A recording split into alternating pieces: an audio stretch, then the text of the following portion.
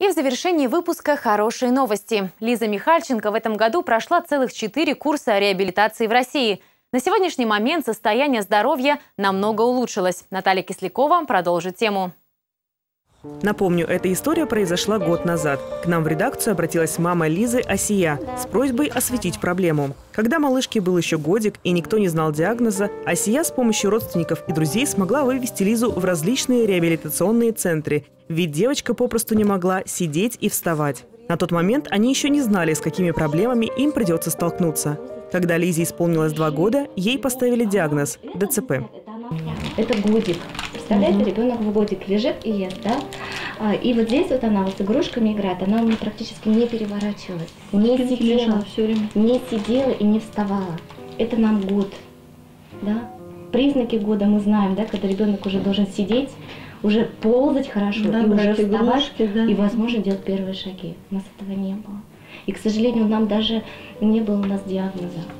Собрав все силы, Асия с Лизой ездили в государственные реабилитационные центры, но все попытки были тщетны. Только благодаря центру Натальи Пыхтиной, в которой на реабилитацию семья Михальченко собрала все свои денежные средства, Лиза смогла сделать первые шаги. Посмотрите! Сразу после реабилитации Асия решила поделиться своей радостью и обратилась к нам в редакцию год назад. Тогда о маленькой Лизе узнал весь округ. Жители региона всего за неделю собрали необходимую сумму на дорогостоящий курс реабилитации. Однако, чтобы девочка могла ходить, необходимо было не менее четырех таких курсов в год. На помощь семье Михальченко пришли специалисты Красного Креста. Ася Николаевна к нам обратилась в конце 2018 года, в октябре, а, за помощью по приобретению авиабилетов. Они собирались э, на реабилитацию с дочкой. Вот. И, наверное, от этого момента мы уже начали работать с ней более обширно. Да? Не только на авиабилеты выделили денежные средства, но и на саму реабилитацию, потому что она достаточно дорогостоящая. А, и в дальнейшем она уже после этого обращалась к нам. А, мы следили за ее судьбой, всем сердцем болели за нее, конечно. Чтобы Лиза смогла самостоятельно ходить и ухаживать за собой, необходимо еще пять лет посещать реабилитационные центры. Действительно видно, что и ребенок очень э, активно и очень радостно занимается. И сейчас ей нужна нагрузка как логопедическая, так э, вот лечебная физкультура, да, то есть ЛФК.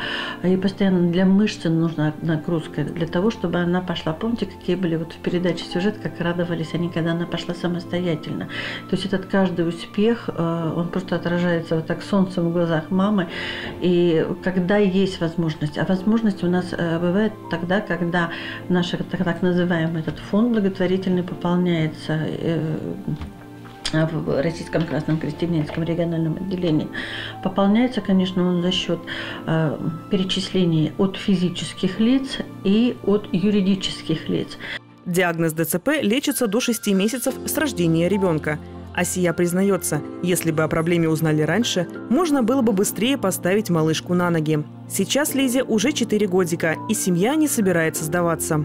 И мы вам хотим подарить вот такого ангела привезли. Вы для нас символ вот такого ангела. Лесочка, подари, пожалуйста, сладенький, дайте мне. Спасибо вам большое. И вы в руках у нее вот такой такой красивый, красивый. мечта. Это мечта. Детская мечта сбывается. Вы понимаете, мы уже на пути к выздоровлению. Хочется э, поздравить с наступающим Новым годом.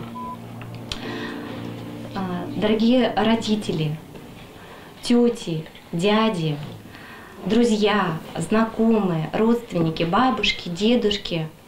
Хочется сказать, хочется пожелать, берегите своих детей и пожелать вам крепкого здоровья. За здоровье Лизы очень переживает ее прабабушка Татьяна Васильевна Карипанова, которой завтра исполняется 90 лет. Семья Михальченко хочет пожелать Татьяне Васильевне крепкого здоровья, благополучия и долгих лет жизни. Наталья Кислякова, Владислав Носкин, телеканал «Север».